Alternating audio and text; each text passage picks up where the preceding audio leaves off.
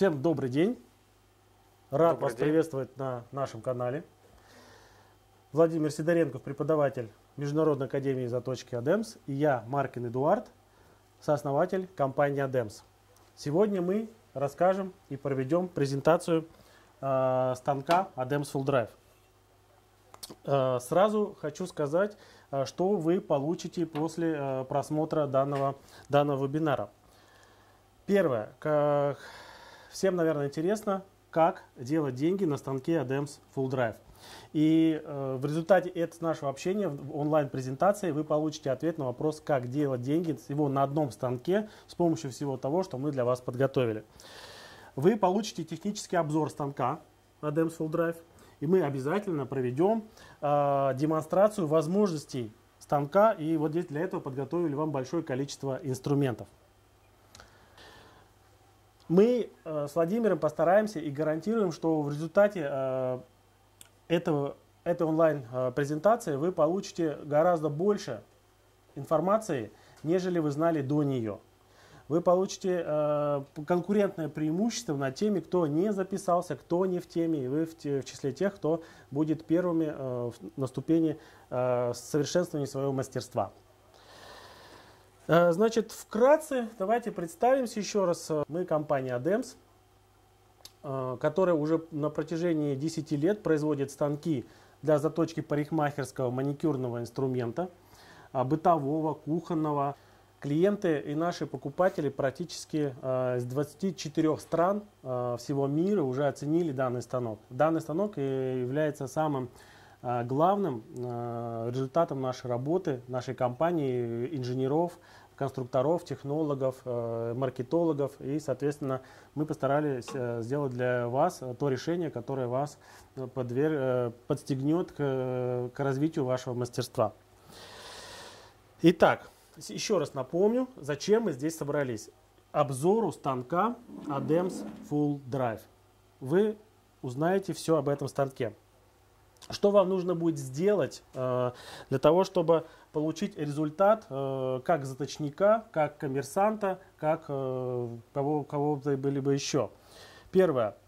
Есть несколько простых шагов, как делать деньги э, на этом бизнесе. Первый шаг, конечно, очень самый главный, это э, понять свою целевую аудиторию. Кто будет платить вам деньги, кто будет возмещать стоимость всего того, что вы, купили у нашей компании, а, с теми людьми, которыми а, вы будете взаимодействовать. Вы должны определить своей, э, в своем месте, с кем вы будете работать.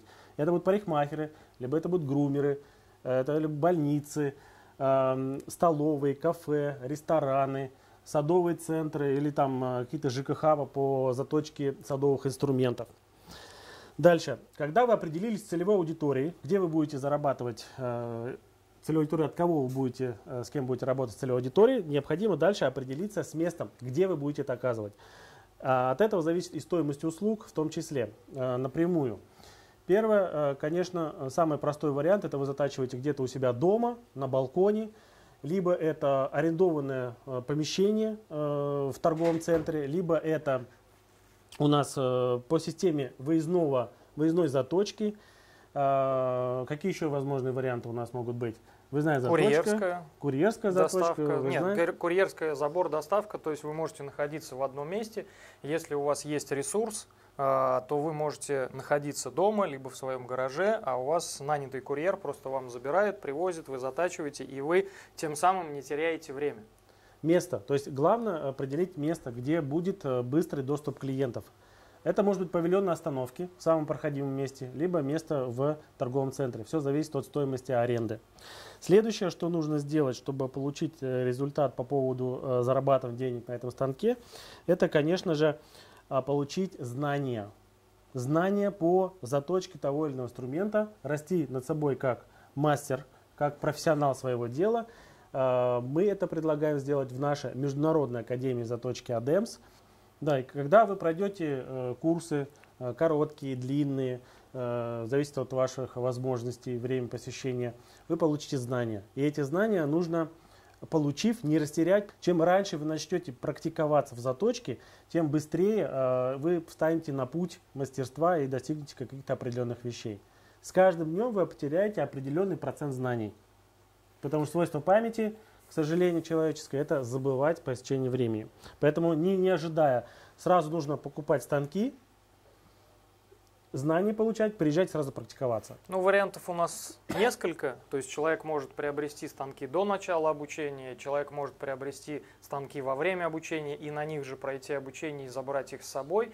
Либо человек прям по э, приезду домой уже, как говорится, собирается с мыслями, то есть э, мы э, формируем ну, уже окончательное коммерческое предложение, и человек, э, уже оплатив, получает станки и начинает практиковаться. Я не буду лукавить, ни одна школа в мире Э, в том числе и наша, э, ни за 5 дней, ни за месяц не даст того опыта, который вы приобретете в течение там, следующих э, лет. Любая школа либо академия дает старт, старт, но стартовать нужно правильно. На данный момент услуга по заточке и индустрии красоты является растущим рынком. В связи с этим доля и потребность в заточке она только растет. Но профессиональных заточников, мастеров, которые делают именно вклад в развитие профессиональной заточки, их крайне мало. Все, все доходят до определенного какого-то уровня, да, начинают как-то более-менее затачивать, брать за это деньги и, соответственно, перестают развиваться. Э, путь мастера-заточника, он непрерывный, он постоянно должен идти вперед. Первое, это не бояться. Если не вы бояться. встали вот на этот путь, э, наша компания – Э, Академия заточки поможет вам с выбором оборудования, с технологиями, которые проверены за 10 лет, поверьте. Хочу предупредить об одной вещи. Э, мы как бы в этой области вращаемся очень давно. Мы можем говорить об этом часами, мы можем говорить об этом сутками напролет. Э, и в рамках данного семинара мы не сможем, не семинара, а вебинара, онлайн-презентации, мы не сможем рассказать все мы, конечно, расскажем какие-то базовые вещи. Но обратившись к нам по телефонам на, на сайте adems.ru, вы можете э, задать нам вопросы, и мы вам расскажем об этом более углубленно. Вот, э, зная Владимира не первый год, э, он обратился к нам в компанию в тот момент, когда у него возник вопрос по заточке. Владимир, расскажите кратенько, как вот этот путь становления как вас как мастера? Ну, в 2012 году я приобрел у вас первый станок, как раз э, станок Adams Full Drive. И э, целый год я... Э, Подождите, нем... но до 2012 года до 2012 года что, как вы я... затачивали или вы не затачивали? До 2012 года у нас существовала уже на тот момент мастерская по ремонту обуви, изготовлению ключей, и мы занимались mm-hmm. э, заточкой бытового инструмента и э, ну, как бы пытались это делать на обычных точилах. Угу. Вот. И у меня как бы посетила меня мысль для того, чтобы расширить спектр услуг нашей мастерской, я как раз задумался о том, чтобы заняться заточкой инструмента. Да, кстати, мы еще и выиграли аукцион. А, но, извините, перебью, но немногие люди сразу э, как бы переходят на станки. Кто-то умудряется тачивать, как говорят, там, на точилах, все остальное. Почему вы... А я объясню. Э, то есть, ну, получилось так, что, ну, может быть, нам, скажем, повезло. Мы выиграли аукцион на заточку 400 хирургических ножниц. И здесь э, ответственность была настолько велика, угу. что я понимал, что я не смогу э, сделать такую коленочную заточку э, да, на каком-то точиле. Вот. И я как раз обратился к вам, и один из первых станков это как раз был на базе ADEMS Pro 2. Вот. И то есть там, где, как и здесь, манипуляторы, градусы, то есть я выдал то качество, и вот я вкусив вот этот момент победы, когда я принес, выложил инструмент, когда при мне хирурги его проверили, и они сказали, да, вы молодец, вот здесь я уже задумался встать на путь заточника. И то есть этот путь освоения был не, не очень длинный, да? То есть с помощью станков э, очень быстро ну, начали у меня, затачивать. Как сказать, самообучение заняло один месяц. Это только вот на станке, ну, как бы именно вот под, угу. под бытовой инструмент. И когда я приехал к вам а, в а компанию... А если бы вы пошли по пути, выиграли аукцион, начали бы проектировать и делать какие-то приспособления, я сразу отсек это. Почему? Потому что я понял, что э, я потрачу времени, я потрачу денег, и не факт, что, например, там тот же токарь, да, мне может ответить на те вопросы, на которых у меня даже и не было, ну, как бы тех заданий. То есть я, как компания ADEMS, вы уже были профессионалами. То есть моя задача была именно заточить инструмент, а не придумать это, ну, сам станок. Так, друзья, кто не знает нашу компанию, кто не знает наши возможности и наши, э, наш, наш продукт, э, мы говорим о том, что вот на примере Владимира, э, он пошел по пути именно освоения мастерства заточки, но не конструирования станков. Э, мы компания, которая делает для вас станки, а вы осваиваетесь как мастер. И это быстрее вам даст старт и преимущество над конкурентами. И неудачные попытки конструирования, они могут привести просто к разочарованию и просто вы можете захотеть бросить эту тему и уйти от нее. Ну вот э, некая такая вводная часть у нас закончена, поэтому я предлагаю перейти непосредственно к онлайн-презентации станка ADEMS Full Drive. Вот, и ну и соответственно э, где-то мы еще на это потратим, наверное, около часа времени, постараемся удержать ваше время и, соответственно, рассказать все о нем. С чего бы мне хотелось начать? Мне бы хотелось начать с того, что э, с преимуществ нашего, э, нашего оборудования. Э, мы компания, которая разрабатывает оборудование по принципу полного цикла. То есть мы сами его а, проектируем, сами придумаем, а, нам подсказывают заточники, а, и мы создаем эти станки самостоятельно. Вся наша как бы, идея заключается и реализовывается в, эти, вот оборудовании. Я хочу показать разницу, хочу вам объяснить разницу между нашим оборудованием и оборудованием конкурентов. На примере простых трех только вещей. Не буду все рассказывать, это очень долго. Трех вещей. Первое. Никакой э, деревянный станок Э, не обеспечит вам жесткость конструкции. Кто э, сталкивался с металлом, он понимает, что для выставления определенного угла, для выдерживания угла с переходом разного абразива необходима точность, э, необходимо отсутствие вибрации и, соответственно, от этого зависит ваше качество. Сконцентрироваться именно на отсутствии вибрации и почувствовать тот инструмент, с которым вы работаете. Наши станки спроектированы таким образом, что у него идет жесткий металлический корпус, который имеет Э, ребра, ребра жесткости, э, не позволяющие станку э, как-либо смещаться. Со временем, со временем данные станки не разбалтываются, со временем данные станки не имеют люфтов, и потому что это жесткий металлический корпус. Он прослужит, ну, я не знаю, что должно случиться с этой конструкцией, чтобы она развалилась. Я не совсем понимаю. Были случаи, когда станки уходили на экспорт, и они приходили, к сожалению, их бросали, они были помяты. Но на функциональность станка это никак не повлияло. Итак, жесткий металлический корпус, который дает основу, э, основу да, нашему станку. Следующий элемент.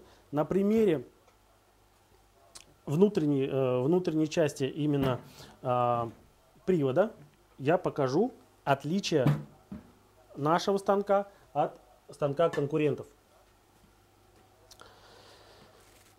Итак, первое.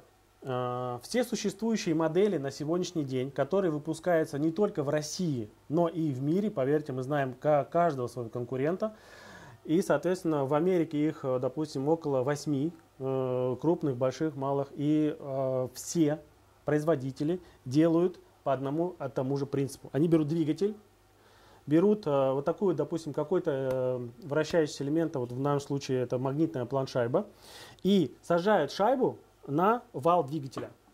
И все. Дальше они это упаковывают в какую-то коробочку и говорят, все, станок готов. Какой э, минус данный, в данном элементе? То есть э, это, конечно же, биение.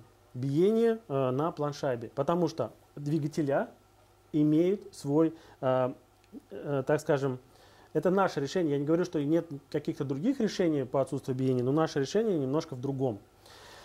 При такой модели установки планшайбы получается биение, поверьте. Мы э, изначально тоже проектировали станки именно по такому принципу, даже не по такому, ну там была у нас ставочка, и биение, мы, мы боролись с биением очень долго. Э, как мы, чем мы отличаемся от конкурентов? Первое. Следующий элемент – это промежуточная промышленная опора. Это сложный, довольно-таки дорогой узел. Это, кстати, к обоснованию некоторые вопросы задают, почему так дорого. Потому что некоторые просто сажают на вал двигателя, а мы, мы изготавливаем отдельный узел. В чем его преимущество? А, я попрошу э, показать нам, Володя, я попрошу показать вам, э, возьму импровизированную указку, и покажу вам. Вот, есть очень интересная импровизированная указка. А, Секунду, я даже не... Нет, все нормально. Вот смотрите, а, мы не устанавливаем напрямую магнитную планшайбу, не устанавливаем напрямую на вал двигателя. Вот существует вот такой вот узел, называется промоопора, в котором, как видите, раз, два, три, четыре, пять, шесть, шесть деталей. Что это дает? А, Вот этот вот у нас ось, вот эта ось, на которую устанавливается э, магнитная планшайба или другой какой-то абразив, через два подшипника, чтобы не было искривления э, в, в самой оси, и через элас- эластичную муфту, эластичную муфту, вот так вот она выглядит, соединяется двигатель с вот этим вот, э, с этой осью через вот эту эластичную муфту. Что это дает? Я покажу, а, покажу это, ну, извините, покажу это на пальцах. Таким образом, два вращающихся элемента, которые, между ними есть мягкий материал, довольно-таки прочный. А, при любом искривлении, при любом искривлении, он компенсирует, компенсирует вот это э, искривление вала двигателя, которое не передается в дальнейшем на вот эту вот ось. Оно не передается на эту ось. Таким образом, а, о биении э, Мак- Вопрос. Да. Я правильно понял? То есть получается, что у нас а, внутри корпуса двигатель а, через муфту, он дает возможность только вращения. только вращение. Соответственно, мы двигатель все не те да. недоработки от завода-производителя при том, что ось, она может быть смещена, там не сделана Однозначно, достаточно, да. э, допуски у них, да. То есть, э, Этого мы Этого мы избегаем. Производители двигателей, э, каких мы разных использовали, у них есть свои допуски, которые к нам не подходят. Мы как бы боремся за качество и все остальное. Далее. Ось, вот эту, которую показал, самая верхняя, она идет каленая, шлифованная. Таким образом, долговечность этого узла, она, ну, наверное, по сравни- по сравнима с, сравнима с, с, с корпусом данного станка. Вот э, это второе преимущество наших станков, э, станка DEMS Full Drive по относительно наших конкурентов. Напомню, первое это металлический корпус и жесткая конструкция. Второе это применение промежуточной опоры. И самое главное, кто, э, чего не делают другие производители, э, это именно манипулятор. Манипулятор для заточки парикмахерских ножниц. Вот так вот он выглядит манипулятор для заточки парикмахерских ножниц. И э, это довольно-таки тоже сложный узел. А, о его сложности вы можете понять из скольки элементов он состоит? вот э, по нашему стенду. Вот дальше мы, если смотреть, вот это вот весь манипулятор, количество деталей. Общее количество деталей вместе с, с промопорой э, составляет 34 элемента. Каждый элемент проходит тройное качество, э, проверки на тройное качество соответствия. А каждому, каждой детали выдается талон качества на складе, и мы это дело очень жестко контролируем. Следовательно, манипулятор. Манипулятор дает нам ряд преимуществ. Владимир, вот вы как заточник, скажите, пожалуйста. Манипулятор с точки зрения клиента, с точки зрения потребителя этого манипулятора, что он дает? Ну, первое, что я вам могу э, рассказать про данную систему, то есть так как здесь э, манипулятор состоит из двух колен, то есть он дает плавность э, при Мгм. э, работе. А, Здесь есть ручка э, держателя, то есть она здесь фиксируется вот э, с этой стороны. И мы можем легко установить непосредственно тот угол, который нам необходим при заточке. А Дальше мы ее фиксируем, и здесь мы можем как ну, фиксировать это уже направлением руки, ну, имеется в виду зажим, и формировать классический угол заострения. Так, при вот этом свободном колебании самого держателя ручки, а, то есть мы можем осуществлять формирование так называемого угла конвекс, да, или кон- а, конвексная заточка. Вот. А, Также он скользит, то есть мы можем выбрать любое положение на а, относительно магнитного основания, то есть где у нас а, посажен абразив, то есть он опять же легко крепится, А, ну это еще Эдуард э, не рассказал про это, вот, то есть я его установил. То есть мы можем а, выбрать то необходимое положение манипулятора, когда мы а, получаем либо коротенькие а, полотна, либо удлиненные, да, то есть поэтому он, естественно, вот по этой вот оси скольжения, а, он так, также двигается. Удобство этого манипулятора, подытожу, заключается и держателя в том, что даже э, тот человек, который никогда не касался заточного мастерства и вдруг захотел этим заняться, он справится с заточкой парикмахерских ножниц. Именно парикмахерских, потому что по отношению к бытовым, ну, будем говорить, это вершина айсберга. Да? Угу. Это самый э, достаточно сложный технологический процесс по заточке парикмахерских ножниц. Пожалуйста. Так, э, какие еще есть элементы есть на данном станке? Э, соотношение, вот э, здесь установлен частотный преобразователь, который регулирует вращение Оборотов? двигателя, э, регулирует вращение частоты оборотов двигателя и управляет его направлением. То есть мы можем вращать в одну сторону и не останавливая двигатель, переключать вращение в другую сторону, аверс и реверс. Это если мы затачиваем ножницы парикмахерские, я просто поправляю Эдуарда, то есть дополняю его. Если э, есть заточка э, ножниц для правши, а есть ножницы под левшу. Соответственно, вращение нам необходимо э, для правши по часовой, для левши против часовой. Да, и мы эту технологию, мы как бы ее преподаем, э, но вы можете использовать функционал нашего станка не только по нашей технологии, но и технологии, которую вы непосредственно а, ну как сказать, вас кто-то научил, у вас был какой-то наставник, и, соответственно, вы можете применять это по своему усмотрению в ту или иную сторону. Так вот, э, одно из конкурентных преимуществ нашего станка – это э, управление частотой вращения плюс э, смена магнитных, на магнитную платформу вот этих металлических дисков. Что это дает? А, кто не знает и не сталкивался с заточкой парикмахерских ножниц, это довольно-таки сложный инструмент – и получается, что иногда нужно, в основном, чаще всего, нужно делать, так скажем, переходы от более грубого абразива для формирования режущей кромки, либо э, формирования какого-то внешней геометрии ножниц.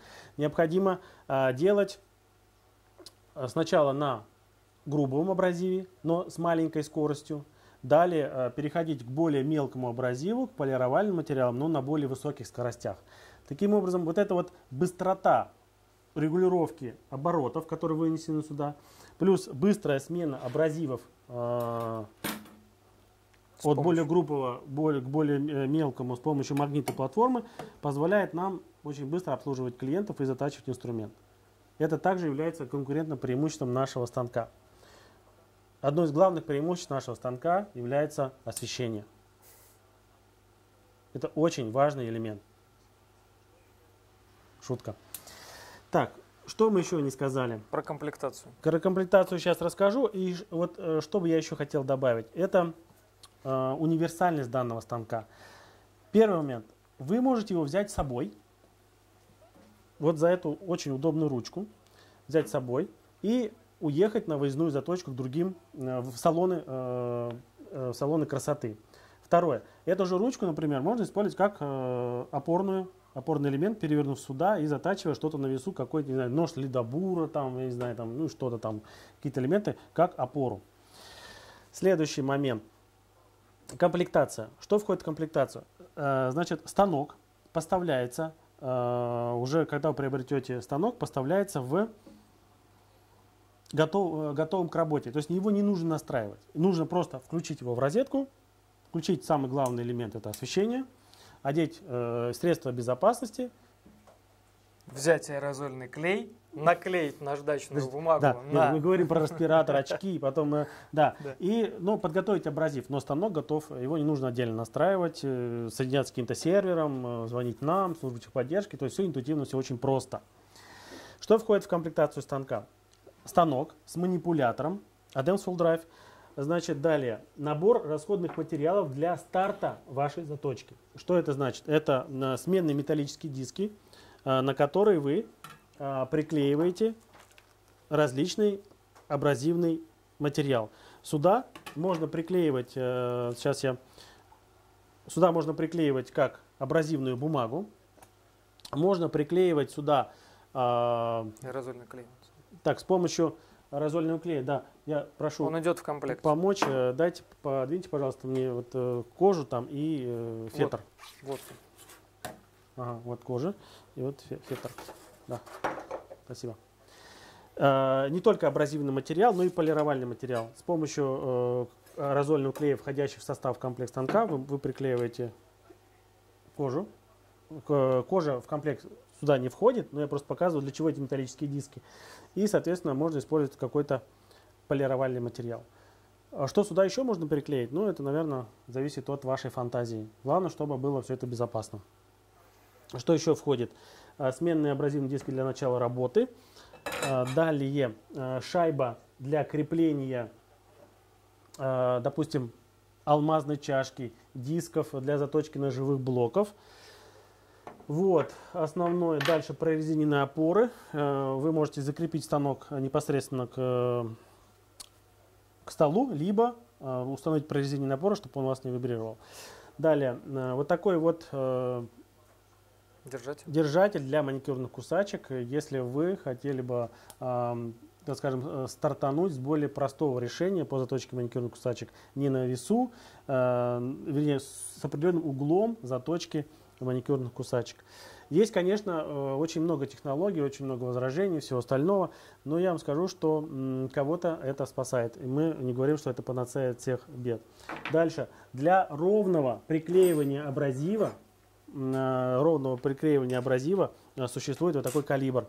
Устанавливаете металлический диск вот сюда, ну вот укладывается все на стол, наносится абразивный, абразивный аэрозольный клей, приклеивается абразив, и у вас исключается следующий элемент. Вот, вот такой элемент исключается. То есть вы не можете уже приклеить криво. И когда у вас вращение, у вас не будет вот такого эксцентрика.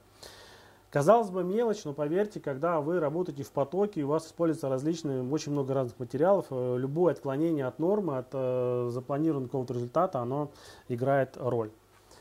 Вот э, я думаю, что я ничего не забыл. Если забыл, то это будет вам приятная, э, приятный сюрприз, когда вы купите станок. Что, что у нас дальше? Теперь давайте пробежимся. В общем, мы сейчас попытаемся рассмотреть а, все инструменты, э, которые мы а, можем затачивать на этом и покажем, приблизительно покажем, как это делается. Опять же, мы говорим, что мы, это у нас базовый, базовый вебинар, при котором мы расскажем только верхушки и азы. Это будет именно, что может данный станок. Первое. Главное назначение данного станка является заточка парикмахерских ножниц. Именно парикмахерских ножниц. Кто не знает, парикмахерские ножницы имеют довольно-таки, особенно конвекционные ножницы, имеют довольно-таки сложную геометрию. И с помощью манипулятора, ножницы разбираются, и с помощью манипулятора затачивается у нас а, делается заточка режущей кромки, ну только с одной стороны. Дальше, конечно, нужно применять по технологии там водные, водные камни, камни, но мы сейчас перейдем к этому. Итак, парикмахерские ножницы, раз. Далее, Технология ручной заточки э, с помощью э, алмазного диска – это э, маникюрного инструмента, например, кусачек. Кусачек, можно затачивать маникюрные, наверное, ножницы, какую-то делать э, какие-то операции. да. да вот они там лежат. Вот, э, дальше заточка твизеров. Вот так вот твизеры выглядят. Дальше пушеры. Пинцеты. Пинцеты маникюрные ножницы, некоторые виды операций. И э, дальше э, ножи парикмахерских и грумерских машинок. Ножи бытовые. Ножницы портные. Медицинский инструмент – Что я еще забыл? Ножницы для грумеров. Вот мы их тут разобрали. Они, как вы увидите, мы в дальнейшем расскажем.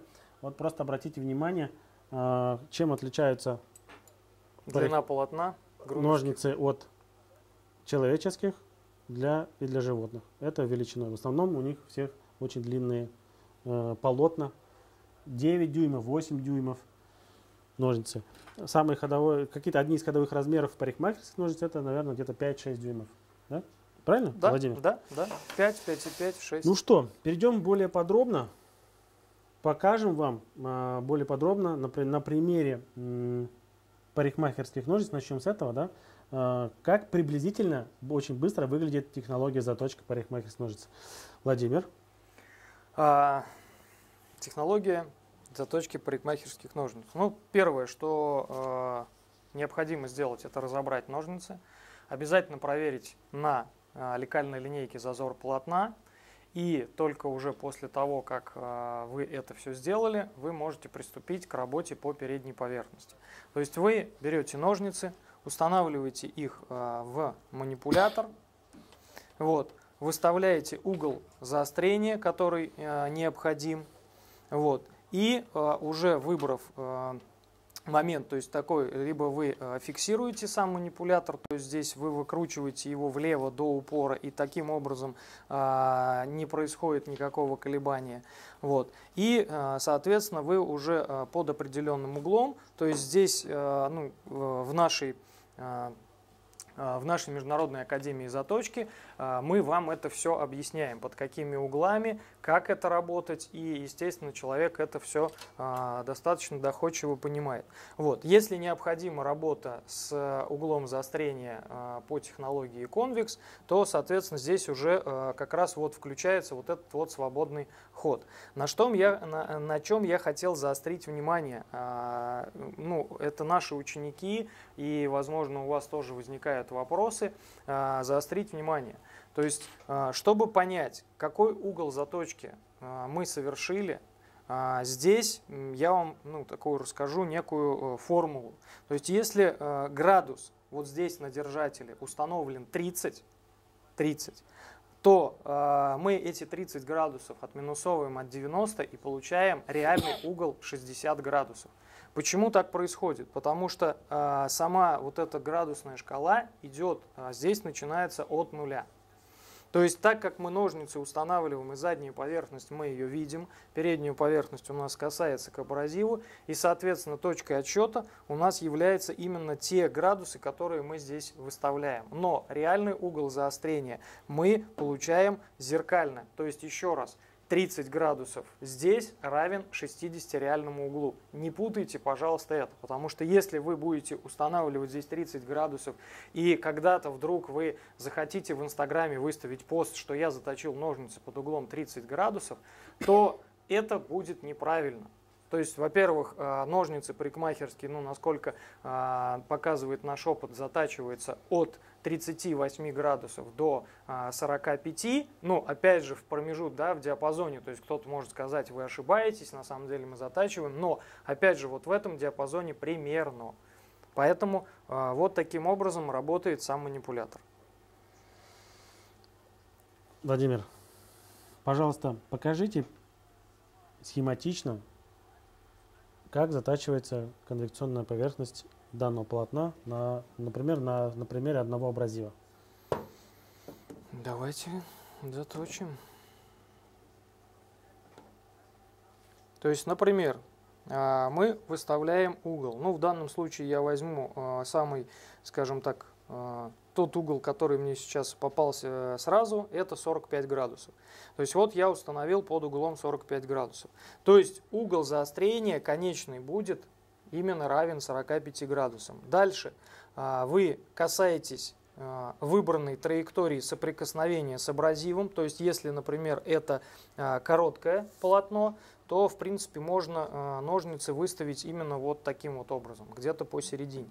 И вы начинаете вот таким вот выкручиванием, то есть, соответственно, я, в принципе, могу включить. То есть сначала э, режущую кромку, да, затачиваем? А, здесь, опять же, то, что мы, э, что мы выбираем. То есть, если это полный конвекс, и а, нам нужно изменить а, геометрию или нам нужно изменить угол, угу. то а, здесь я выполняю, в первую очередь, касание самим наличником. Угу. И только потом а, я уже начинаю выкручивать в сторону режущей кромки.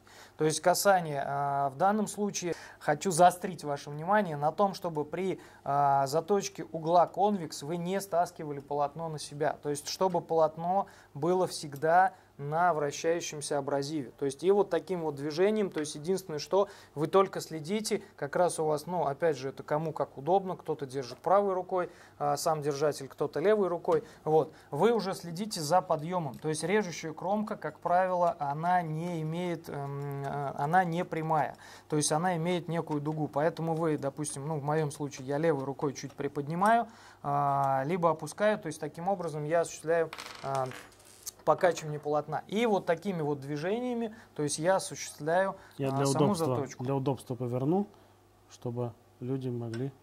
Да, вот, да, Эдуард, спасибо. А, вот, то есть вот таким вот движением я осуществляю а, заточку угла конвекс. Если это полуконвекс, опять же, нас, наверное, сейчас смотрит ну, какой-то процент уже действующих заточников, то есть а, вы а, со мной согласитесь, да, то есть, э, что есть такой угол заострения, как полуконвекс. То есть мы уже не кладем в полный а, ну, то есть мы не касаемся полной части наличника, мы а, выбираем, то есть уклон где-то в 5-7 градусов. И вот таким вот движением мы формируем угол конвекс. Если нам, опять же, необходимо классическое, а, классический угол заострения, то есть мы просто фиксируем, вот, влево, допустим, да, я именно выкручиваю, то есть фиксирую это правой рукой, и уже заношу абразив, то есть вы можете это заносить с пятки, можете касаться середины, но нежелательно, я вам не рекомендую касаться в первую очередь носиком и потом закладывать все полотно.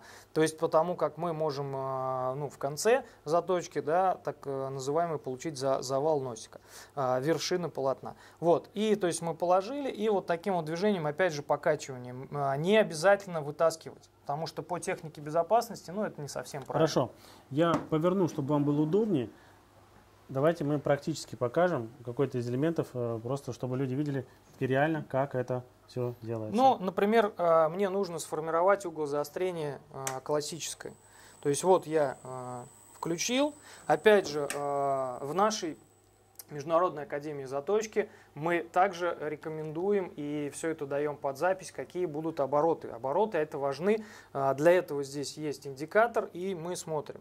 Ну, например, я сейчас устанавливаю средний диапазон, где-то э, в диапазоне 850-900, и э, делаю заточку классического угла заострения. То есть вот я коснулся, довел до вершины, поднял, довел до вершины, и вот в данном случае я уже вижу, что у меня а, по всей длине режущей кромки появился заусенец.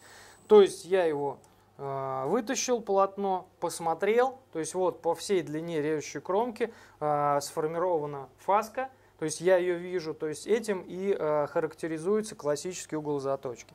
Если мне необходимо, как я говорил, сделать полуконвекс, то есть я вот таким вот движением то есть аккуратно, чуть-чуть приподнимая э, сам манипулятор и не сильным покачиванием. То есть по факту я э, эту, ну будем говорить, э, ярко выраженную фаску из такой прямой поверхности я делаю э, полу, ну как бы ее э, выпуклой, да, то есть в виде такой некой линзы.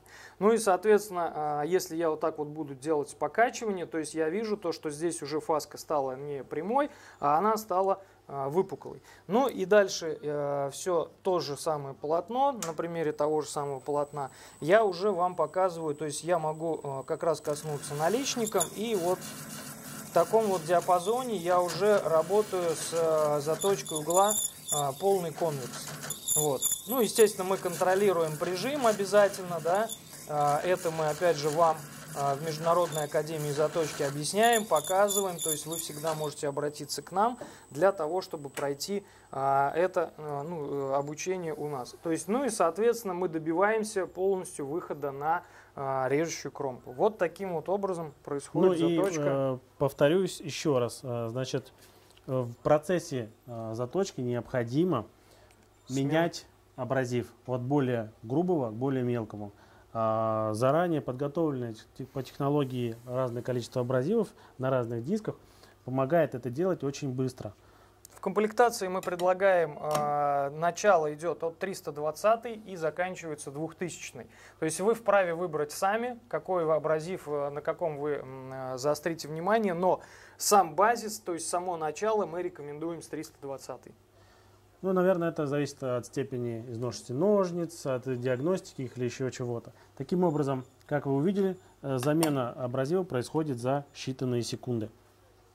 Итак, э, подобным образом затачивается у нас второе полотно, ножницы разбираются, дальше э, применяются водные камни, либо могут применяться другие технологии, которые мы вам чуть-чуть попозже покажем.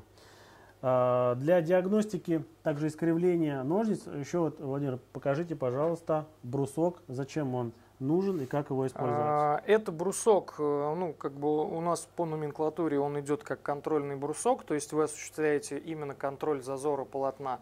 А, вот, по э, технологическому ну, языку в технологическом это называется лекальная линейка. То есть вы берете полотно, соответственно, укладываете шарнирной частью, закладывается полотно, и вы проверяете именно сам непосредственно зазор. Ну, то есть, естественно, это нужно делать на просвет, и э, вы смотрите, насколько зазор э, ну, как бы присутствует. То есть, качественно, ну, корректный он или некорректный. И то есть, после того, как вы это проверили, вы уже принимаете решение о дальнейшей заточке, там, либо рихтовке, либо э, формировании поверхности поддержки на водном камне. То есть, ну, это уже технологический процесс, но контрольный брусок – он, насколько я помню, в комплектации не идет. Нет. Не идет. То есть это как дополнительная опция, поэтому без него, э, ну, будем говорить, что заточка парикмахерских ножниц невозможна.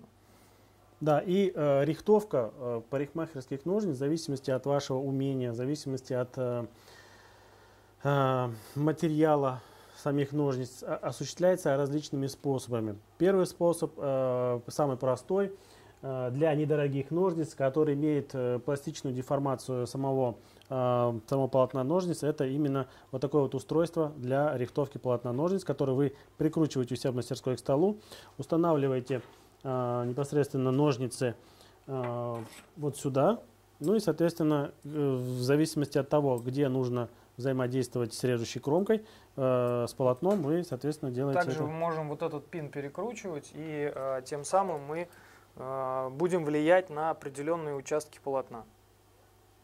Да. Также, э, Владимир, пожалуйста, объясните вот назначение данного э, деревянного изделия. Это, это вторая, э, вторая часть рихтовки, которую также опытные мастера должны освоить в процессе заточки парикмахерских ножниц. Что это такое? Когда, да, когда мы проверяем зазор на лекальной линейке полотна и, к примеру, мы видим, что появляется перехват, точнее есть перехват, а именно что такое перехват? Это именно та часть зазора полотна, Точнее, мы нажимаем, допустим, на полотно, и вот, допустим, в этой части просвет исчезает, а вот эта часть вот отсюда вот так вот покажу, будет удобнее вам видно. То есть, например, вот эта часть, вот эта часть э, полотна начинает подниматься. То есть, соответственно, если идет подъем полотна от э, лекальной линейки, то э, это не очень хорошо. Не очень хорошо. Почему? Потому что в этой части режущие кромки видеть при смыкании друг друга не будут. То есть, соответственно, они будут э, э уходить ну, будем, будем говорить, э, болтыхаться в воздухе. Вот. И нам необходимо сделать рихтовку. То есть мы работаем на, э, ну, в данном случае на пне. То есть пень этот дубовый. Соответственно, используем, вот, мы используем латунный молоток. Почему не металл? Первое, во-первых, мы не портим текстуру самого полотна. И второе, э, собственно, он э, более мягкий, э, ну, сам по, по отношению к стойкости самого полотна. И как раз мы осуществляем вот именно на данном... Не, наоборот. Наверное. Да, вот таким вот образом мы осуществляем рихтовку. Вот. Но сразу оговорка. Сразу оговорка, сразу поправка. С рихтовкой нужно быть очень-очень крайне аккуратной. То есть, опять же, у нас в нашей Международной Академии заточки АДЭМС мы показываем, мы рассказываем и мы объясняем, каким образом можно э, от рихтовки уйти и э, что нужно делать, чтобы ее заменить. Но все равно рихтовку необходимо Владимир, выполнять. у нас поступают вопросы. А, можно ли заточить здесь э, изогнутые ножницы. Да. Э, Леонид Мельников, прошу, Владимир, кратенько рассказать, потому что вопросов много, контента много, нам нужно двигаться очень быстро. Да, а, допустим, вот мы в данном случае, ну, как бы у нас парикмахерских нет, но вот есть хирургические изогнутые ножницы. То есть в чем их отличие? То есть здесь вот, когда а, у нас, допустим, выгнуто, выгнуто вот сейчас полотно на меня, то есть здесь достаточно все просто. Вы коснулись нижней частью режущей кромки и проточили все полотно. То есть вот, а, когда вы это установили все в держатель, то есть, ну, допустим, вот я вам сейчас наглядно прям покажу. Вот, вы это установили в держатель, установили определенный угол заточки, и вот вы совершили а, как раз ну, то есть процесс а, заточки по передней поверхности. Вот. Основной момент, когда вы а, перекладываете, уже делаете то есть заточку другого полотна, вот здесь нужно быть очень аккуратным. Потому что э, здесь мы уже не можем сделать вот этого вот движения, да. Здесь нам нужно сделать вот такую вот протяжку, и потом мы вот здесь заканчиваем. Заточка на краю получается, да? Да, по факту мы работаем где-то э, 15, 5, максимум 20 5, миллиметров угу. от края, да. То есть именно вот конкретно для этого полотна, Таким где образом носит... заточить изогнутые ножницы Можно. представляется возможным, и да. мы продемонстрировали. Следующий вопрос. А, Леонид Мельников задает вопрос. Что бы сделать угол 35 градусов, насколько нужно выставить манипулятор? Еще раз повторю. Леонид, если вы хотите Может заточить... быть, вы ответили, просто вопрос... Нет, э, если вы хотите ну, заточить... Да, если вы хотите заточить ножницы под углом 35 градусов, то на манипуляторе вам нужно букву R, ну вот в данном случае сейчас здесь она у меня стояла на 45, вам нужно увести до 55. То есть получается 45, 50, то есть э, вот по той формуле, по, по которой я вам сказал, чтобы вам получить реальный угол 35 градусов, вам нужно на держателе установить угол 55. Но, честно говоря, такой остроты э, режущей кромки, то есть именно такого угла заострения по передней поверхности я бы вам не рекомендовал делать. Дальше. Э, еще вопрос от Леонида поступил. Э, в чем отличие э, нового манипулятора от старого манипулятора?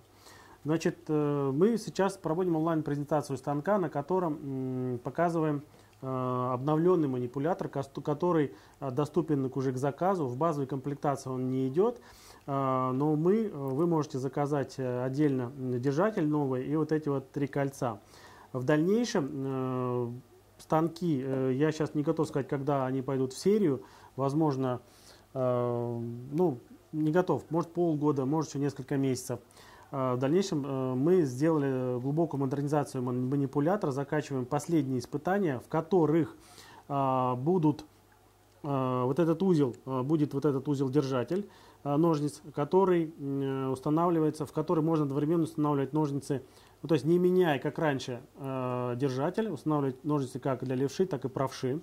Далее ось ось э, манипулятора, вот за счет данного держателя, ось манипулятора, она находится в одной плоскости вместе с ложементом, куда укладывается ножницы. Что это помогает в реальности? Чем это помогает? Когда вы затачиваете ножницы э, на манипуляторе, есть два варианта. Первый вариант, э, когда у вас э, ножницы более, э, так скажем, ходят при заточке конвекса, они более ходят по ну, значительно такой размах имеют. Некоторые говорят, что это не совсем удобно или как-то, но очень много лет мы так затачиваем, поверьте, это вполне достаточно.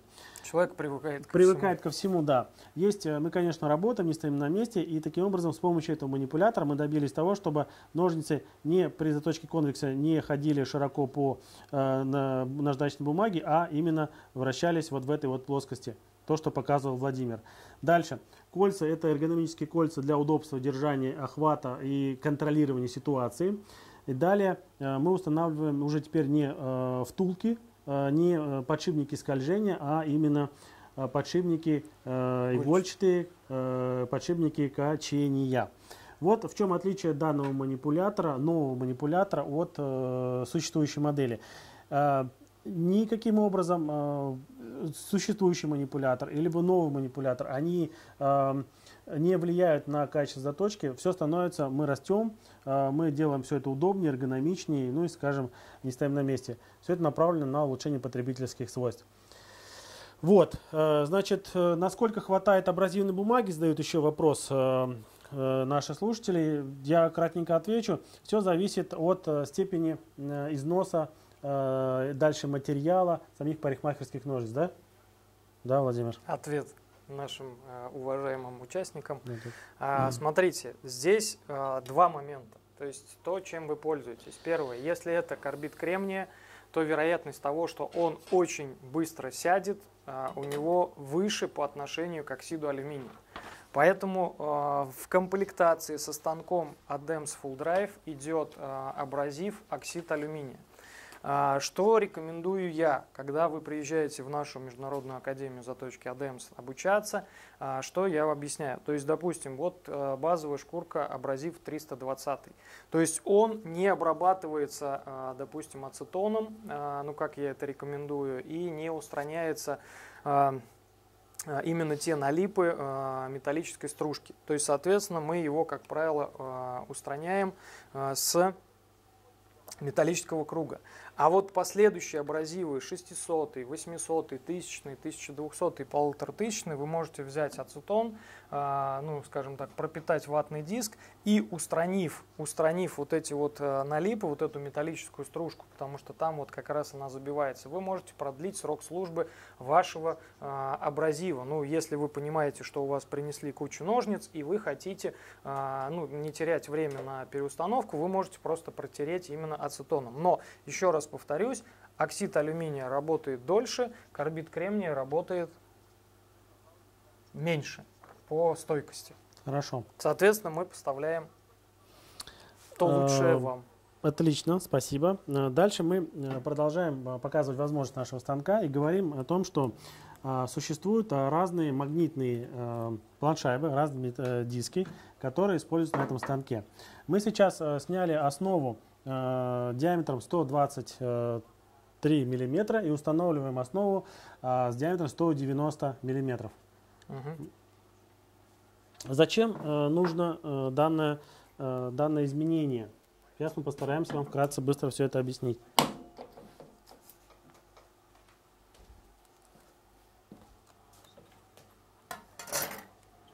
Ну, вот как вы видите, э, вот в чем разница. Это именно э, увеличение поверхности, э, рабочей поверхности для каких ножниц, Владимир? Для грумерских мы их вам в самом начале показывали. Вот такие вот грумерские ножницы, это шанкеры. Вот. Это неотъемлемая часть каждого, ну, скажем так, ка- ка- каждого любого грумера. Вот, то есть данные ножницы 8,5 дюймов. Э, Соответственно, для того, чтобы нам э, не делать каких-либо сильных переходов, колебаний или вообще, как говорится, манипуляций, а, то есть вот мы можем осуществлять заточку, чуть сместив, допустим, а, именно относительно вот этой вот оси, то есть вращение у нас идет из-под режущей кромки, и вы видите то, что я могу положить нижнюю частью режущей кромки и до самой вершины полотна его отработать. Причем вот этих вот э, растаскиваний ничего не делать, и тем самым я увеличиваю КПД Да, и вот если бы у Заточки. нас стоял диск на 150 миллиметров, как бы это выглядело? То есть у нас Но мне приходилось бы полотно. вот такие вот движения Да. делать очень часто, и вероятность качественной заточки, она бы просто падала. а, технология заточка грумерских ножниц и парикмахерских ножниц, она практически идентична. Да. Все просто отличается размерами. Но это не основное назначение увеличенной, э, увеличенного диска металлического на 200 миллиметров. С помощью этого диска можно также затачивать у нас, Бытовые ножи? ну, например, вот такие вот длинные бытовые ножницы, которые, возможно, некоторые разбираются, как Ну, я это нет. просто сейчас не показываю саму установку, то есть здесь, в принципе, такой же принцип, то есть мы можем сделать, ну, то есть максимум вот мы можем чуть-чуть смещать на себя, вот небольшое как бы Мгм. вытаскивание, вот, либо, вот, как я сказал, не вот в этой оси, а чуть-чуть левее мы смещаем и э, делаем вот такое вот движение. Так, далее. Это именно заточка ножей. Ножей, э, опять же, мы говорим о заточке ножей. Ну, э, Компания Adams, можно я про, Да. как бы, э, да, скажу. Э, Компания Adams э, не, как сказать, не рассматривает установку ножа в данный держатель. То есть подача, подача ножа, это уже наше такое, ну не авторское, конечно, но тем не менее, э, подача ножа идет вручную. Но давайте тем не менее, включу, да, какой да, пожалуйста, оборотов. вот сюда. Мгм. То есть вот мы включаем, делаем подачу. Я, э, ну, как бы такую вам расскажу такой некий лайфхак, то есть каким образом определить угол заострения, то есть угол заточки э, на сторону. То есть вот я беру э, большой палец, устанавливаю э, примерно, то есть вот обух сюда на середину большого пальца и э, кладу, соответственно, э, то есть ну прислоняю палец к абразиву и укладываю сам нож. То есть вот примерно вот этот угол будет равняться, ну примерно где-то 18 градусов на сторону. То есть, ну, в пределах, опять же, да. И то есть я понимаю, что когда я уже отточил вот это вот прижим, я уже пальцы не кладу на сам абразив, а я их кладу чуть выше. Но, тем не менее, уже память мышечная в руках есть. И вот таким вот движением, то есть обратите внимание, да, то есть нож за- ну, как бы, чтобы получить... Покажем? Да, чтобы получить, э, чтобы получить э, однородной высоты фаску, то есть обязательно необходимо сделать вот подъем вот на этом вот участке. То есть мы обязательно поднимаем. И э, вы получаете по факту однородной высоты фасочку. То есть вот таким вот образом это все происходит.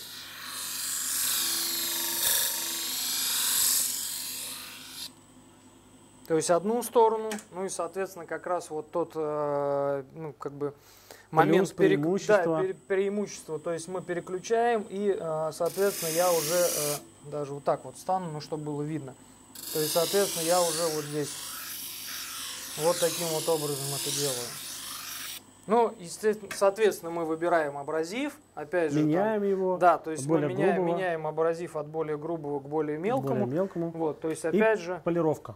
Да. Скажите, а вот э, толщина, э, какой должна быть толщина и какая должна быть кожа для полировки? Задают такой же вопрос. Я думаю, что А, кожа, ну, например, сейчас, сейчас компания ADEMS, э, и э, как бы это было ну, опытным путем мною определено, а, то есть какую кожу выбрать. То есть э, мы сейчас предлагаем вашему вниманию кожу из нубука. То есть чем она отличается? То есть, во-первых, толщина ее 1,8 миллиметра. И само технологическое изготовление кожи, так как я а, ранее а, занимался ремонтом обуви, то есть как нельзя я, а, как нельзя, кстати, я знаю про вот эту вот а, как раз кожу. То есть в чем ее технологическая особенность от изготовления а, гладкой кожи? То есть тем то, что а, она идеально ровная. То есть э, здесь идет машинная обработка, здесь не наносится никаких лакокрасочных, э, ну точнее именно эмалей, и получается, что э, нам не нужно ее подготавливать. То есть вы взяли ее, наклеили аэрозольным клеем э, на ну, на металлический круг. И по факту, когда мы ее уже устанавливаем на магнит, кожа у нас готова к использованию. То есть вы ее можете использовать как в сухом виде для тонких полировок, так и с э, алмазными, с алмазными пастами. Пожалуйста. Отлично. Итак, э, это не все. Это не все. Значит, э, с помощью э, сменных металлических дисков э, и наклеенного абразива мы можем затачивать еще э, ряд других инструментов и выпол- выполнять какие-то отдельные операции. Например, на маникюрных кусачках. Сейчас э, есть? А можно на это же показать? Нет. Лучше на, на маленькую. Хорошо, мы меняем тогда планшайбу обратно на, на маленькую. Нет, мы сейчас установим, если мы говорим, а, про маникюрный Ну, конечно. кусачек. То есть, ну, хорошо. Давайте тогда уже Я- раз сняли. Да, Да, я извиняюсь, Все, просто- все хорошо, все Да. правильно. Мы тогда будем следовать э, определенной Технологии. технологии, э, по которой действительно нужно двигаться до точки. Сюда можно устанавливать различные круги с посадочным, э, 32. посадочным местом 32. 32. Стандартный размер посадочных кругов. Итак, Владимир, маникюрные. Ну, одна из операций у маникюрных кусачек. То есть, соответственно, мы можем э, установить э, кусачки, точнее установить сначала абразивную тарелку, э, чашку, тарелку, то есть то, чем вам удобно пользоваться, но именно с 32-м посадочным местом. И вот таким вот образом, то есть вы можете это дел- держать как на руках, так и э, с помощью, где этот э, держатель, вот он закрыт. Вот. Также вы можете э, сменить вот это вот, убрать э, держатель э, полотна парикмахерских ножниц, его сюда установить и, соответственно, его э, э, закрепить сюда и уже используя манипулятор, то есть под определенным углом, вы можете давать подачу. И маленькое пояснение, что все-таки угол, э, там же есть также вопрос по поводу выставления угла. А, шкала на манипуляторе данного станка используется исключительно для заточки парикмахерских ножниц. Да. И только для этого. Что касаемо всего другого инструмента, то угол выставляется мастером самостоятельно, определяется и, соответственно, из, Ну, исходя из- из опыта Здесь работы. я бы даже сказал не из опыта работы, а исходя из того, что нам предложил завод-производитель. Потому что передняя поверхность, она может быть а, либо очень вогнутой, либо практически прямой. И а, здесь а, она может даже не совпадать по а, зеркальности. То есть нам, а, допустим, если вы выставите здесь на манипулят, ну, то есть на держателе какой-то градус и его сделать сюда, то зеркально на другую сторону вы можете этого не попасть в этот градус. То есть вам придется это все равно менять. Поэтому вот это вот, ну, как бы это особенность. Итак, можно установить сюда алмазный, э, алмазный круг. Э, Можно сюда установить эльборовый круг э, для заточки поверхности, передней э, поверхности кусачек. Выставляете самостоятельно этот угол. Какие еще операции? Мы сейчас не будем переставлять, сымитируем, что у нас установлена магнитная планшайба. Вот у нас стоит металлический диск. А, И мы, э, сейчас Владимир покажет, какие еще операции с маникюрными кусачками можно ну, делать на соответственно, да, абразиве. на станке, к сожалению, на full драйве сделать кернение невозможно. Для этого у вас должна быть наковальня. Вот, то есть станок для этого, для механических э, ударной мощи не предназначен. То есть мы можем также использовать наш дубовый пень с помощью каких-то маленьких наковален. Так вот, а, следующая операция у маникюрных кусачек, которую мы делаем, это как раз формирование фасок. То есть, ну, я просто вам а, делаю касание, то есть э, не так, как я держу э, на самом деле, просто чтобы вам было видно. То есть мы формируем именно сами фаски. И после того, как мы сформировали фаски, то есть, естественно, мы понимаем, что есть вероятность, что по ширине они расползутся. Да? И далее мы можем уже, там, положив вот так руку, зафиксировав, то есть также да, мы можем формировать именно а, формирование толщины самих фасок. Это уже по задней поверхности, по так называемым щечкам. Потом мы можем а, делать калибровку, то есть съем с обуха, калибровку носиков. То есть по факту мы на станке Full Drive можем сделать все операции, а, за исключением одной, это а, за исключением расточки а, сустава у кусачек. Итак, э, пушер. Пушер. э, Прекрасно. То есть мы можем также его э, здесь затачивать. То есть также вот мы можем именно формировать по задней поверхности. Потом мы можем также, ну это я, к примеру, показываю, что у нас уже наклеен, допустим, фетровый круг. А, То есть мы его сюда как бы сменяем, одеваем на магнит. И мы уже можем делать полировку, там притупление а, на, а, то есть, ну, естественно, фетровый круг у нас будет, ну, как бы забит алмазной пастой. Да, то есть, опять же, это все в комплекте не идет, это все отдельно. Но вероятность и возможность заточки данного инструмента здесь возможно. Так, далее у нас, Пинцет. пожалуйста, пинцет. То есть также вы можете э, осуществлять заточку пинцета. Опять же, здесь очень удобно, когда э, нам необходимо увидеть соприкосновение самих фасок для, э, для их обновления. Вот, мы можем вот так вот наклонить, то есть вот это вот как бы наклонный... Освещение на гибкой ножке. да, на гибкой ножке. То есть мы, это очень удобно. Мы это э, то есть, ну, как бы подсвечиваем, и нам видно очень хорошо просвет. Это, кстати, тоже очень хорошо помогает при формировании фасок у кусачек. То есть мы обновляем фаски, и дальше потом мы по щечкам, опять же, благодаря э, возможности того, что здесь идет вращение э, как против часовой, так и по часовой, то есть мы можем э, формировать одну сторону э, ну, толщины самих фасок по задней поверхности, так и другую сторону. То есть кому как удобно, ну я имею в виду выбор вращения. Мгм. То есть, соответственно, пинцет здесь затачивать тоже можно. Маникюрные ножницы. Мы А, маникюрные ножницы, да, мы здесь можем делать, но, э, наверное, не все операции, потому как, э, ну, допустим, опять же, в нашей Международной академии заточки АДЕМС э, операция по формированию высоты фаски мы делаем с помощью вулканита. А, так как вулканит находится на, у нас в вертикали, а здесь идет горизонтальная подача, то есть, скорее всего, мы, ну, не скорее, мы эту операцию делаем на вулканите, но потом нам необходимо сформировать фаски. И вот здесь как раз задача э, станка Full Drive очень неоценима в этом. То есть мы э, берем, устанавливаем вот за а, опять же, обратите внимание, то есть, ну, как бы участники а, нашего сегодняшнего прямого, ну, точнее, нашего вебинара, да, то есть, а, вот здесь вот ручка, она всегда с закруглением. То есть я ну, как бы заостряю ваше внимание, чтобы вам было понятно. То есть я цепляю именно вот здесь вот в нижней части, где есть прямая площадка. То есть вы э, зацепили и потом вы э, убираете вот так вот полотно, выбираете опять же необходимый угол, заострение устанавливаете и производите заточку по передней поверхности. Это очень-очень удобно. Вот. Но я вам это рекомендую делать не на абразиве а, именно, а на алмазной тарелке с зерном 20 на 14. Но это такие наши вот вам а, советы. Вот. Соответственно, почему так? Потому что э, здесь как раз, чтобы нам не повредить и не изменить геометрию вот этого самого изгиба полотна, то есть вот э, при э, рабочей поверхности в 10 мм нам как раз удобно делать вот эти вот, э, ну, будем говорить, манипуляции. Угу. Спасибо. То есть сам станок, сам станок, вот сейчас мне Эдуард передает сюда инструмент, вот сколько я его уже накидал, здесь, то есть вы можете обратить внимание, да, то есть mm-hmm. это и пинцеты, и пушеры, и кусачки, и э, бытовые портняжные ножницы, то есть вот. Владимир, а давайте поговорим немножко о финансах.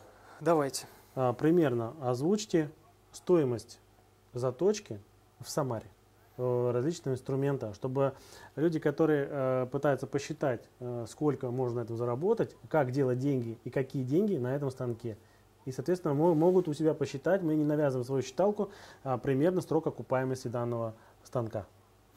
Хорошо, давайте так. То есть э, начнем с самого простого. Э, это хирургические ножницы. Цена вопроса от 150 до 200 рублей. Раз. Э, пинцет пушер в нашем регионе, ну, в городе Самара, стоит 150 рублей. То есть, соответственно, есть.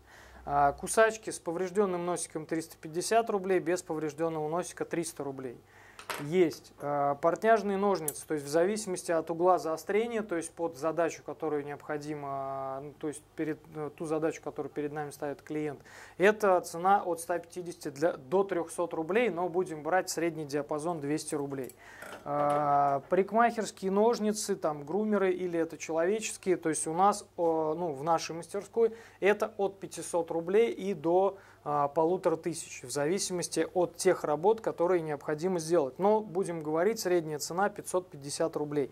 Это парикмахерский. Ну и э, самый такой э, сладкий инструмент, то есть э, тот, который к нам ну, относительно часто несут, то есть это бытовые ножи. Причем их э, сладость заключается в том, что их приносят не одни.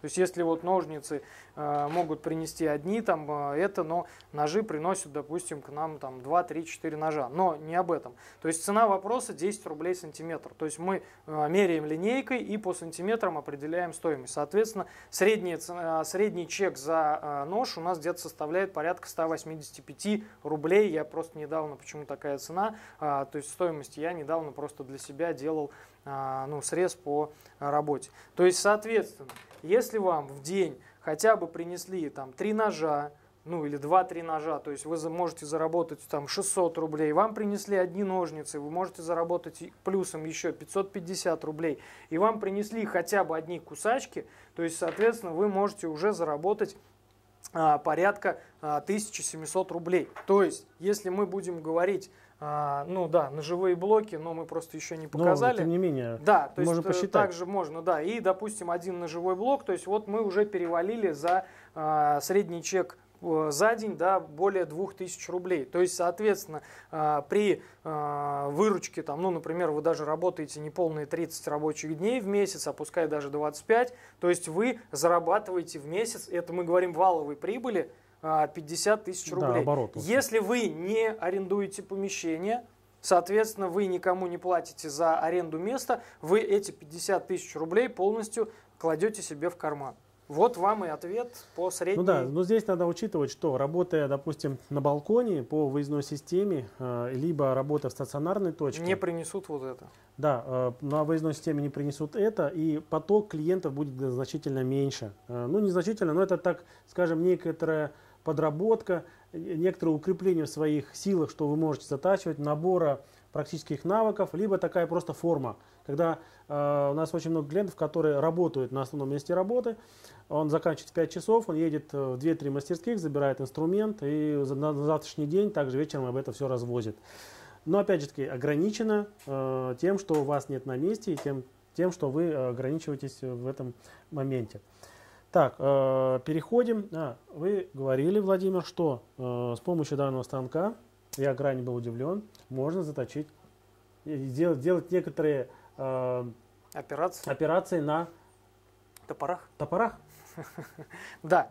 Ну, просто вы можете как бы включить э, свою фантазию и 3D формат. Я имею в виду в плане того, что у меня есть гриндер в мастерской а, для грубых работ. То есть на нем я делаю основной подвод а, там, ну, образно под углом, там, допустим, 25 градусов на сторону. Но я понимаю, что когда я делаю выход на режущую кромку и заканчивая на а, ленте P8, а, P80, да, то есть там появляется такой конский заусенец. То есть для того, чтобы мне его аккуратно убрать и сделать а, так называемый микроподвод, я как раз использую именно станок Full Drive. То есть я беру абразив P1000 и под э, более тупым углом, там, ну, например, уже 30 градусов на сторону, то есть я э, делаю а, именно микроподвод. То есть на этом станке, а, ну это такая а, палочка-выручалочка с точки зрения некоторых бытовых инструментов. Там в том числе я могу делать также, доводить стамески, в том числе я также могу затачивать ножницы для оверлока, ну, для оверлоков. В том числе я также могу делать какие, ну там, допустим, резцы приносят. То есть все это я могу делать там, где мне это удобно. А, а, переустановка абразива, где очень легкая, и Б, соответственно, а, я могу а, именно работать, то есть, ну, как бы, ну, если это ручной подвод, в горизонтали. То есть некоторые операции там, по заточке каких-либо инструментов, какие-то удобно делать в вертикали, что-то удобно делать в горизонтали. Вот. Спасибо, Владимир, за ответ. Э, сейчас мы э, покажем также, э, у нас есть видео, уже мы показывали обзор, что это такое. Это у нас эльборовый круг, круг который устанавливается также с посадочным, с посадочным у него местом на 32. На 32. А эльборовый круг на керамической связке имеет данный вот круг имеет толщину 5, 5 миллиметров. И, соответственно, мы покажем э, сейчас... Э, мы не будем в действии показывать. Да, он э, новый. Да, он достанется кому-то из наших клиентов, которые захотят приобрести его. Но мы покажем, как можно его использовать для улучшения, убыстрения, ну, уменьшения скорости или каких-то таких операций. То есть, что можно делать на этом Эльборовом круге. А, в данном случае зерно здесь идет 40 на 28. Да, я понимаю, что это не самое а, мелкозернистое, а, не самый мелкозернистый абразив, но как бы по рекомендациям завода-производителя это уже идет предфиниш. Но для, допустим, э, финишной или, э, как назовем, финишного формирования поверхности поддержки у парикмахерских ножниц, эта абразивность не подойдет, то есть она оставит очень грубую насечку. Так вот, но когда, допустим, у нас идет большой поток ножниц, и зачастую еще, опять же, то есть часто к вам в мастерскую приносят грумерские ножницы, то есть для меня это палочка-выручалочка. А, перед тем, как мне приступить к заточке, то есть я формирую поверхность поддержки именно вот на этом круге. То есть обратите внимание, что здесь идет полностью а, расположение, то есть даже если ну, вот эти вот ножницы 8,5, то есть если это будет там девятки либо десятки, то есть в принципе они тоже уместятся и мы можем сформировать качественная поверхность поддержки. Конечно, вы сейчас скажете, там может расшириться носик, может э, увеличиться вообще в принципе она, но это мне и необходимо. То есть мы а, на прошлой неделе с Эдуардом презентовали наше а, революционное устройство для, а, ханин, для ханингования. И как раз если я вижу то, что ножницы, особенно вот при такой длине, поверхность поддержки очень сильно расползается, то есть я сначала то есть, ну, как бы делаю черновую обдирку, потом выполняю хонинг, и, ну, ханингование, да, вышлифовку, и уже финиширую на водном камне. То есть мне это здесь крайне удобно. Устройство для ханингования э, задней поверхности парикмахерских ножниц а, вы посмотрите в описании Ссылка будет в описании к данному видео. Так, и, ну и, э, и опасную для бритву. опасной да, бритвы. опасную бритву. К сожалению, мы не смогли так быстро ее найти, но... Может быть, на а, примере а, ножа? Да, на примере, ну давайте на примере ножа, да. То есть вот вы представляете, к примеру, то, что есть некая длина опасной бритвы. Они приходят, в, как правило, в очень грустном состоянии, с очень большими сколами, особенно те, которые а, приносят, ну, например, там, которые покупают где-то на рынках там на птички, ну, так называемых, да, то есть на каких-то развалах, то есть именно а, такие бритвы а а, ну, именно СССР, да, вот. Так вот, для того, чтобы это сделать, а, ну, допустим, я адаптировался и я научился это делать именно здесь, то есть, к примеру, а, причем у опасной бритвы длина режущей кромки, она примерно вот такая, то есть получается, что у меня опаска ложится полностью вся а, именно здесь. И я выбираю а, режущую кромку, чтобы она у меня была вот, ну, ну как бы по, по радиусу да, э, окружности. И вот таким вот образом, то есть я ее просто закладываю и э, делаю, опять же, это э, грубую, ну то есть именно э, обдирку. То есть вот таким вот образом. Причем я могу это сделать как от режущей кромки, так и на режущую кромку, потому что мне это здесь позволяет. Ну и потом, естественно, я ухожу на водный камень. То есть не подумайте, что я э, делаю как бы что-то такое э, сверх, э, ну скажем так, плохое, да, для того, чтобы чтобы испортить инструмент. Нет, так как опасная бритва на водном камне все равно она делается э, в полное соприкосновение, поэтому здесь я также э, делаю полное соприкосновение, выставляю обороты, но тем самым я могу заточить опасную бритву, если бы я это делал на водных камнях там, ну, за 3-4 часа, то здесь я сокращаю время работы до э, часа-полутора. То есть потом я, естественно, вывожу это все равно на водных камнях, на природных, но этот круг мне помогает и позволяет. Э, опять же, он э, ильборовый, э, то есть у него здесь идет керамическая связка ЦБН, и то есть у меня вот такой круг, ну, в нашей вот Международной Академии заточки Адемс, я его показываю вам, я рассказываю, как это все работает. То есть уже использую более года, да, то есть у нас первый появился, ну, я думаю, больше. Больше, да? Больше. Вот, я прикладывал лекальную линейку, ни одного зазора, даже нету завала на краю окружности. То есть это говорит о том, что стойкость данного абразива очень высока, и даже при том, сколько я уже инструмента э, на нем заточил, также вы можете посмотреть ценовую политику, э, ссылку, я думаю, да, мы прикрепим, также, то есть, чтобы люди могли посмотреть это. Вот, просто, когда человек говорит, ой, это дорого, э, то, ну, ребята, извините, я столько ну, на нем... Вы, да. вы имеете право так думать, да. мы нисколько не претендуем на да. ваши мысли. Но э, данные... Вместе с тем, э, поймите, э, есть существенное различие не только от просто абразивной, просто абразивной бумаги, но еще есть существенные различия между эльбором и алмазом. Вкратце скажу следующее, что по стойкости алмаз и эльбор, они примерно находятся на одном уровне. Многие часто путают алмаз и эльбор. В чем преимущество именно эльбора? Эльбор именно применяется в, если в машиностроении взять, именно для шлифовки, э, для точной доводки, э, как и алмаз, но Эльбор предпочтительнее, и он даже и он дороже, всегда был дороже. Сейчас э, добавлю, Владимир, за счет того, почему он ценен, за счет того, что он работает намного мягче, первое. В чем мягкость заключается? Он прощает ошибки заточника, он менее прижигает режущую кромку, он более теплоемкий. И таким образом а, одни и те же действия на алмазе и на альборе, на алмазе у вас уже кромка может становиться раз, различных цветов, э, голубей, синеть и все остальное, на альборе этого не произойдет. И поэтому сейчас э, многие заточники, которые наконец-то, мы с первых дней продавали Эльбор и предлагаем его, но те, кто а, Э, где они обучаются, к сожалению, не все школы знают вообще об Эльборах или преподают. А мы с первого дня говорим, что Эльбор более предпочтителен для многих операций. И за счет того, что прощает ошибки заточника.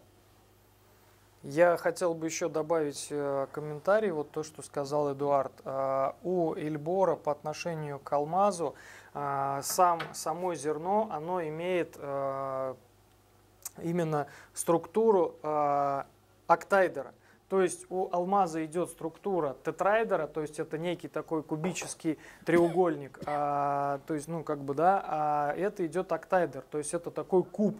Соответственно, у него а, за счет того, что идет меньше граней, а, точнее, сама грань уменьшена, то есть он дает а, более мелкую риску, нежели чем алмаз. Алмаз он выгрызает. И то есть каким бы а, по зернистости алмаз не был по отношению к эльбору, он всегда даст а, риску. То есть если мы будем это увеличивать с помощью микроскопа, а я недавно вот в декабре месяце себе приобрел микроскоп и понял, насколько он мне теперь стал помогать в работе. То есть соответственно риска намного меньше. И вот то, что сказал Эдуард, а, само качество вот, а, шлифовки намного чище, намного качественнее при одной и той же э, зернистости. Угу. Еще одна очень важная операция, которую выполняем мы на станке. И сегодня в обзоре это у нас будет э, э, крайняя операция, которую мы расскажем. Это заточка ножей э, парикмахерских и грумерских машинок. Для этого, сейчас, Владимир, э, подождите минуту, для э, соблюдения техники безопасности э, здесь предусмотрен другой кожух, нежели от 150 миллиметрового диска. Мы сейчас для демонстрации не будем устанавливать, но покажем, что другой кожух устанавливается. И потом устанавливается уже диск, сейчас я покажу, диск для заточки ножей парикмахерских машинок и плюс решеток и ножей мясорубок.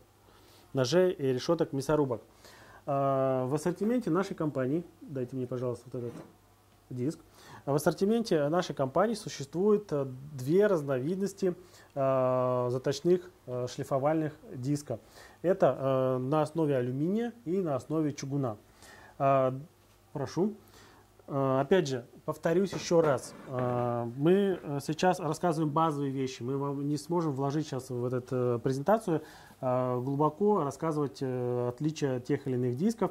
Мы показываем базовые вещи, которые просто в дальнейшем мы можем это все вам прояснить. Диски изготавливаются двусторонние, то есть можно использовать две стороны. Э, доступны э, в базовой комплектации. С одной стороны у нас идет э, конусная поверхность, второй сторона идет плоская поверхность, вторая сторона. Доступные к заказу диски имеют конус, конус, либо плоскость, плоскость. Плоскость нужна тоже для заточки некоторых видов ножей и в основном для заточки ножей, мясорубок и решеток мясорубок.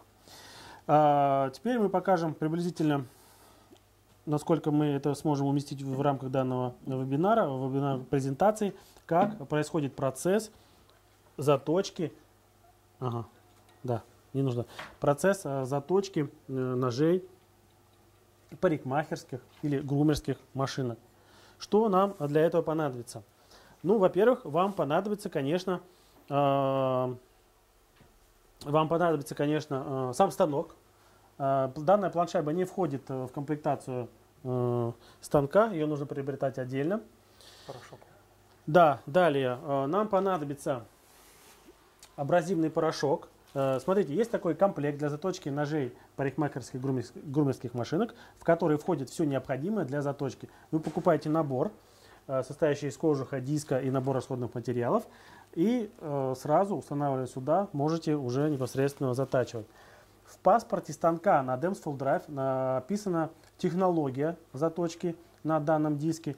Она является, я не скажу, что она какая-то уникальная, но она является, э, так скажем, симбиозом, э, симбиозом э, многих заточников. Мы ко многим прислушиваемся и, соответственно, э, рекомендуем вам, э, как затачивать. Вы можете выбирать э, самостоятельно, самостоятельно э, самостоятельно э, свою технологию. Мы на нее нисколько не претендуем. Э, далее. В процессе заточки происходит, э, мы что делаем? Мы устанавливаем планшайбу. Для ножей это конус-конус. Каждая планшайба имеет балансировку перед отправкой, проверка на отсутствие биения и маркировку стороны где является конус, где это плоскость, даже с указанием градуса, какая, э, какой градус здесь сейчас на плоскости.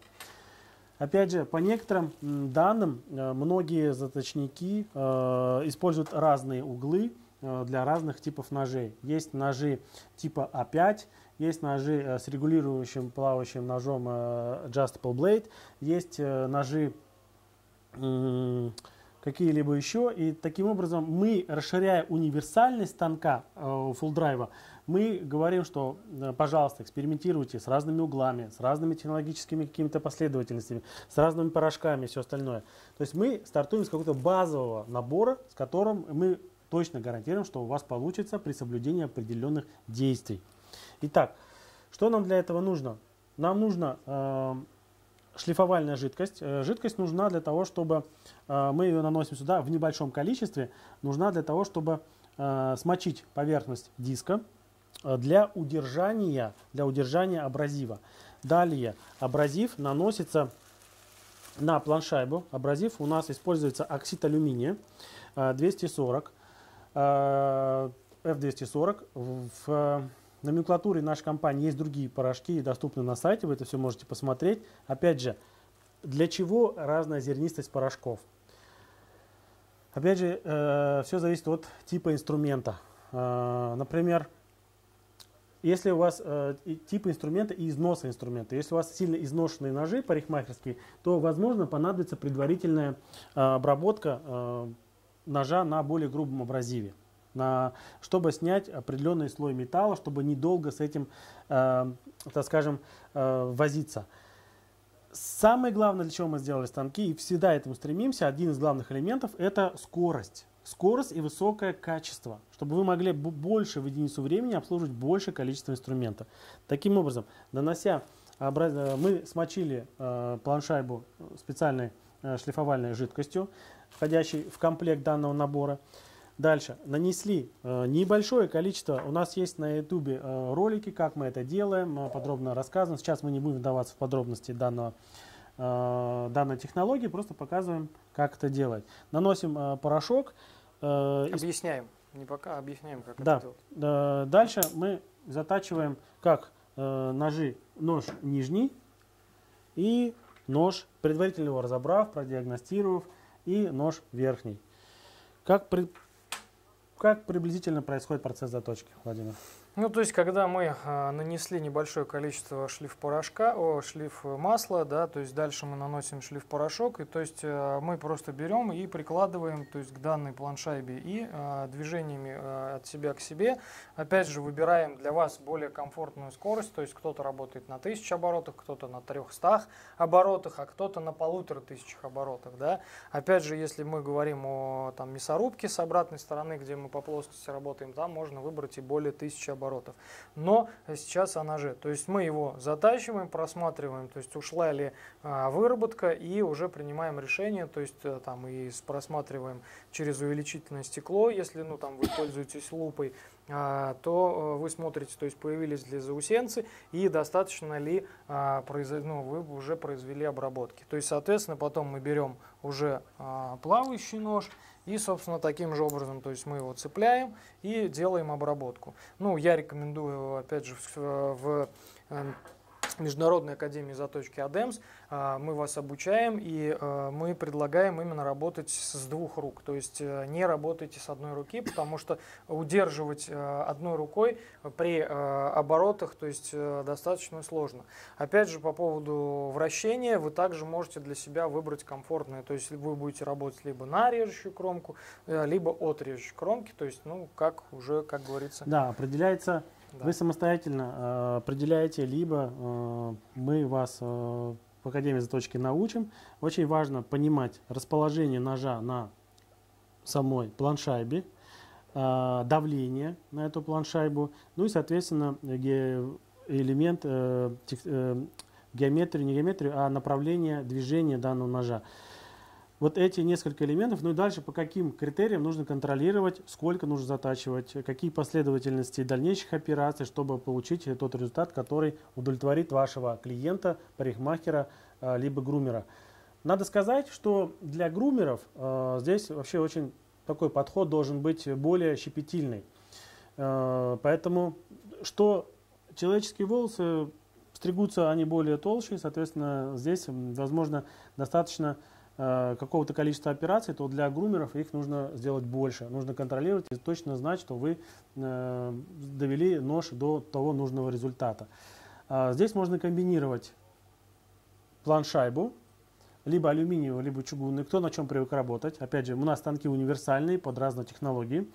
Э, далее, и э, как элемент контроля мы используем как микроскоп. Мы смотрим на э, износ, на, ну, на, так скажем, поверхность шлифовки. И также используем чугунные притирочные плиты.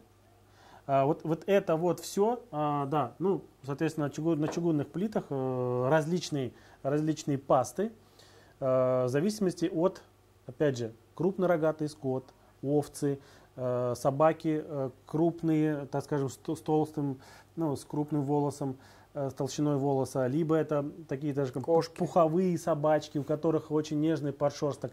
И вот для каждого типа среза, да, ну, до максимального, чтобы довести, необходимо ну, в этом разбираться и понимать. Мы говорим, что и гарантируем, что с помощью данного диска для заточки ножей парикмахерских машинок и с помощью станка вы на 90% э, заточите э, без э, всего дополнительного, но в некоторых случаях нужна доводка на чугунной плите.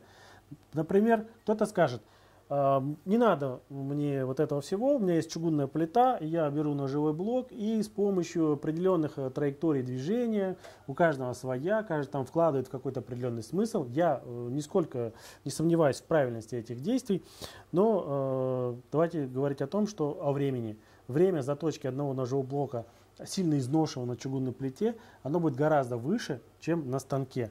Таким образом, если у вас очень убитый, изношенный нож, э, потому что если стригут каких-то собак, у них грязных, в волосах есть камни, какие-то посторонние предметы, э, собакам пыль. Пыль, э, собак не всегда можно там промыть, они не могут не даваться, а кто-то вообще там может быть не помыть собаку, начать стричь. Таким образом, э, ножи грумерские очень быстро изнашиваются и э, их нужно чаще затачивать, но и также их нужно затачивать э, более тщательно, чтобы... Комбинировать просто быстрее. Да. То есть Таким образом, э, если вы затачиваете на диске и на чугунной плите, время сокращается значительно. Я сейчас не буду, не буду говорить о времени, но э, вот как бы ну, я скажу, что в разы, на, пар, на несколько порядков э, вот с этой технологией комбинация диска ну, это плюс некая палочка-выручалочка, то да. есть просто э, приобрести, э, ну, то есть как бы если у вас есть она в арсенале, и вам их опять же таскают там по 4, 5, 10 штук в день, то есть и вот сидеть как бы их разглаживать. Ну, закрылся на весь день, да. и, и час и, с ними, берешь да, и на живой блок там, да, да А здесь это. вы грубый съем сделали, перешли на чугунную плиту и уже... И 10 э, минут, и таким образом, то ли дело вы 2 часа потратите на 10 ножей, то ли вы потратите день, а то и полтора. Ну, так, правильно? Да. А клиенты идут, инструмент несут, правильная, хорошая, раскрученная мастерская, это все-таки, когда клиенты к вам идут, и инструмента много. Инструмента много. Это на сегодняшний день это основные, основные базовые э, элементы, которые можно устанавливать на станок. Э, я знаю, что некоторые наши клиенты используют станки э, намного шире, намного используют для затачивают на них еще какие-то другие инструменты. Ну что, Владимир, давайте ответим еще на ряд вопросов, которые у нас осталось. Э, ну вот, например, Леонид Мельников спрашивает, на каких оборотах делается микроподвод? Возможно, он имел в виду какого-то инструмента, но сейчас сложно, наверное, сказать, да, какого инструмента. Ну, если мы э, рассматриваем именно то, для чего нам необходим сам станок, а именно парикмахерские ножницы, то микроподвод я делаю на от 500 до 600 оборотов. От 500 до 600 оборотов. Почему не сделать правильно э, градацию на манипуляторы, чтобы не заниматься математикой. Э, начнем с того, что каждый человек, каждый человек, он эм, очень охотно э, использует то, что ему понятно, и он всегда идет по линии, по линии наименьшего сопротивления. Э, производя какие-либо эм, детали на этом станке, мы их, конечно, улучшаем. Мы делали и так, и эдак, по-всякому, но пришли к тому, что, опять же, пообщавшись с многими источниками, которые уже опытные, э, не только с российскими источниками, но и из других стран, ближнего зарубежья, дальнего зарубежья, мы пришли именно к той модели манипулятора, которая наиболее правильная и намного востребованная. Вот. Таким образом, что касаемо математики, ну, давайте начнем с того, что математика это неплохо. Это, например, тренирует ваши мозги. Начнем с этого. И это тоже хорошо. Второй момент это просто удобство.